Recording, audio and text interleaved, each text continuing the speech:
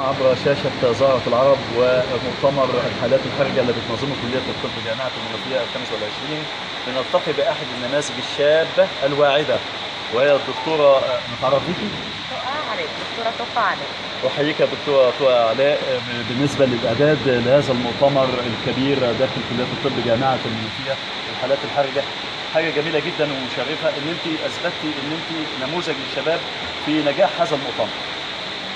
بشكر حضرتك جدا وبشكر القائمين على المؤتمر واللي هم سمحوا لي إن أنا أبقى مشاركة في المؤتمر ومشاركة في تقديمه. وبشكر أستاذ ماهر هو اللي ساعدني في الإعداد للمؤتمر. نقول المشاركة في المؤتمرات أصبحت إن أنت بتقودي هذه المشاركات وأنت اللي بتقدمي المؤتمرات.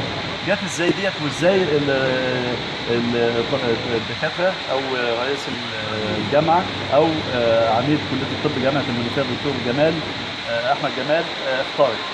آه، ده صحيح آه، بالاعتياد يعني أنا أول مؤتمر قدمته كان مؤتمر في سنة أولى كان مؤتمر تبع قسم من الأقسام مؤتمر فيسيولوجي.